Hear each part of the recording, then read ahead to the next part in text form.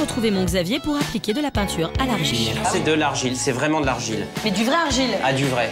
De l'argile pure, un peu d'eau, la teinte souhaitée et on mélange le tout.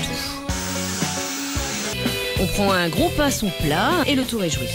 Et quand toute la pièce sera finie, on laissera sécher et on passera de l'huile pour fixer le tout.